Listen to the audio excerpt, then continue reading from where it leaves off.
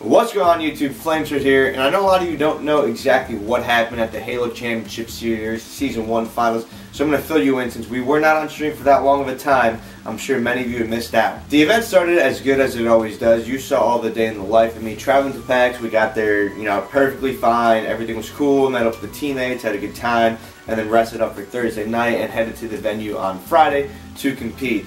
Now, just like always, we were going to match up with Cloud9. The teams invited to this event were only the top 8, so that means that we would have faced Cloud9 immediately in our first match.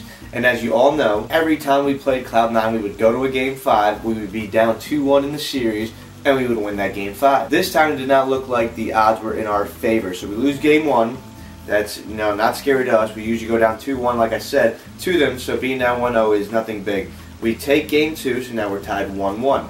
We then go down 2-1 because they win game three, and then like usual, we are we have our backs against the wall, and we have to now win the next two games. So we take game four uh, pretty easily. I believe we win 3-1 on Sanctuary, uh, I mean Shrine Flag. Sanctuary is the old Halo 2 name, if you all did play Halo 2. And then we go to the pivotal Game 5 that we always go to with Cloud9, and for some crazy reason, things did not, just didn't go our way. So uh, it was Warlord, Team Slayer, and usually you know, there are certain starting spawns that you get, and I was praying to God that we got a certain spawn on the map so we could do what I think is our best beginning strat on that map and we get that beginning strat. We open up perfectly, we get two kills, we get the camouflage up on top middle, which we also like to call camo for short, and then all of a sudden things just go the wrong way. The score is staying pretty evenly for the most part, where it's about 13-13, and then all of a sudden I see a score of like 16 to 31, 19 to 35, and I'm just like, oh man, we are losing it. We were so close in that beginning battle section, and then all of a sudden in the long game, they just took off. They were just getting every camouflage. They were running perfectly in pairs. We were getting trapped in bases. And next thing I know, we lose 50-31. So this was a devastating blow, obviously, after beating Cloud9 all year long. They finally showed up at the most important tournament in Season 1, which is Season 1 Finals, and they were able to take us out in that Game 5 Final. No worries, though. There's plenty more to be played in the tournament, obviously, with the losers bracket. It is all the top 8 teams, so that means whoever you match up, you're going to be playing a really good team. Noble Black loses to EG in their winners round, so that means we're going to be playing Noble Black at the end of the night. And the crazy thing about Noble Black, obviously, is that the people on this team were all people that at some point we were going to team with, We were on the Optic Halo squad, and then ended up, obviously we dropped them or someone left the team. So we had Ares who we dropped on the team.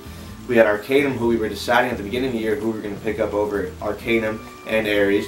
Then we also had APG on that team who left our team during the time Ace had mono where we couldn't practice as much. So we knew that this was kind of going to be a grudge match. They were going to try their hardest, we were going to try our hardest, not just to get the W, but to prove which team is better and which players are better. Game 1 was Warlord Oddball, and we started off the game great. We had control, we were up in the lead, and we had a, a nice lead throughout the entire game, and then towards the end we just started losing control. We went from a full setup to them making a great play to break our setup, and then all of a sudden their comeback began, and they ended up uh, beating us in that game.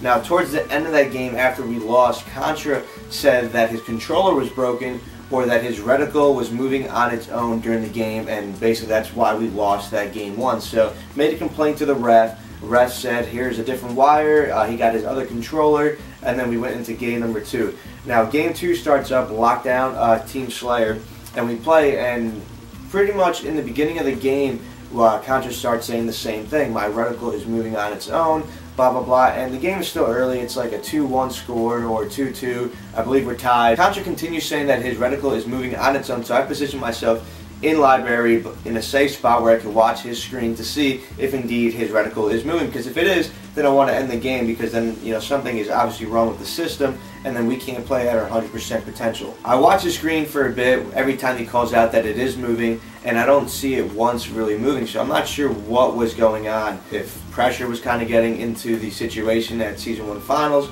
or really what it was. Besides the controller thing that was happening to Contra as well, we were always on the left-hand station if you were sitting in the crowd looking at the main stage. And the seat that Contra was sitting in, uh, there was either a problem with the mixing or the white noise that they were pumping into our headsets made us not be able to uh, pretty much understand anything he was saying. His voice was super low, and Ace and Assault really couldn't hear him. I could hear him a little bit better just because he was sitting next to me, but it was it was it was crazy that you know his voice just got damped a lot down and we weren't able to hear him. And like I said, Our team relies a lot on communication, so for us not to be able to hear him definitely hurt us in the event. Not saying it's what made us lose the event, but it could have for sure helped us done a lot better at the event. Long story short, we lose game two. We now have our backs against the walls. We are down 2-0 in the series, and we have to make the comeback starting now. Game three is Shrine Assault. We go the full distance this game. I believe we get the first uh, arm, they get the second arm, and then we pass the 15 minute mark, which means end of regulation of normal time, which means next person to arm the bomb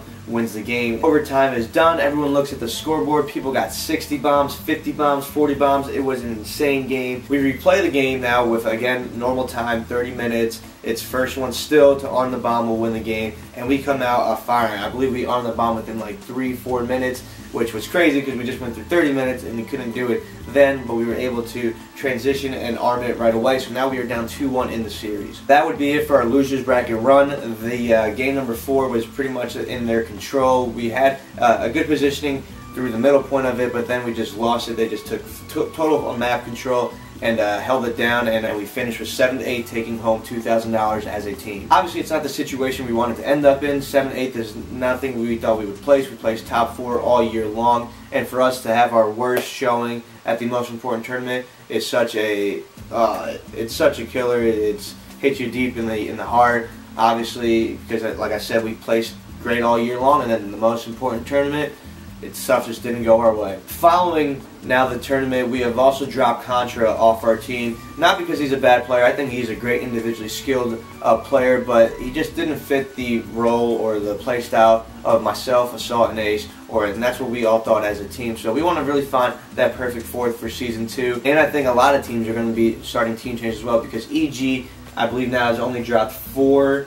games in two events in a row that they won. So seeing that just tells you that this is a real team. These guys are solid. You need to kind of make some new team changes in order to dethrone the champs. Expecting a lot of team changes, not besides ours. I'm sure there's going to be a lot of different Halo team changes coming out these next weeks. And it's going to be crazy to see now the different formations of players joining each other. It's going to be exciting. It's going to be wild. It's going to be hectic. But we are going to find that perfect fourth for the team. And I can't wait till we do find them and then start grinding it out. Sorry we let you all down with the 7th, 8th placing this week. Season 2 is going to be completely different. I am definitely going to be playing a lot more. A lot of my things or priorities and, you know, obligations that I do have are going to be ending at the beginning of this year. I've been flying a lot, doing a lot of other things outside of uh, competing in Halo, doing other gaming stuff, because I am 25 all, so I am always trying to make a living while I am competing at Halo, so I'm always doing other little things that people don't really see unless uh, they are behind the scenes. So I'm always trying to make an income for myself so I could support myself